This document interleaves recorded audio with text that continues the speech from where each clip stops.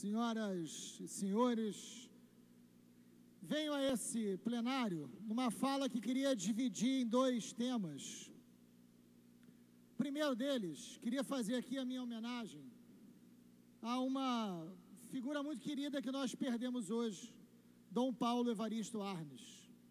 Dom Paulo faleceu hoje aos 95 anos de idade, uma figura emblemática na defesa da democracia brasileira. E é impressionante como é que o ano 2016 foi um ano tão ruim que quanta gente boa não resistiu a esse ano. O Dom Paulo, catarinense, começou a sua vida franciscana na, aqui em Petrópolis, Rio de Janeiro. Muita gente não sabe disso. Mas ficou muito conhecido do mundo inteiro como arcebispo metropolitano de São Paulo na década de 70 e na década de 80. Não é qualquer momento da história do Brasil. A gente está falando de um período duro da ditadura civil-militar, nos chamados anos de chumbo. Ele estava à frente da Igreja Católica em São Paulo.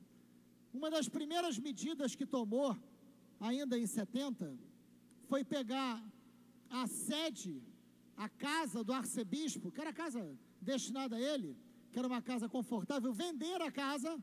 Olha que tempos distantes de hoje em dia, é, deputado Samuel Malafaia, Malafaia.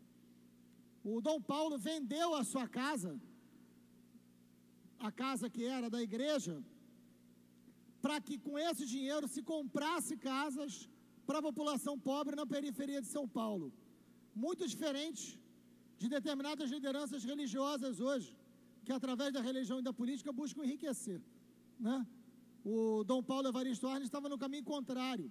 E por isso foi tão importante na luta e na denúncia contra a ditadura.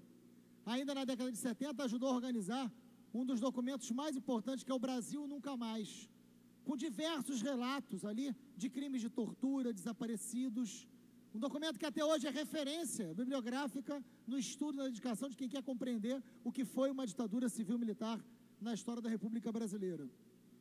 Ele, junto com a sua irmã, Zilda Arnes, fundou, já na década de 80, 85, a Pastoral da Infância, que é tão importante e trabalhos tão importantes. Enfim, toda a minha homenagem a Dom Paulo Evaristo Arnes, presente sempre na memória de quem defendeu a democracia, de quem quer um Brasil mais justo.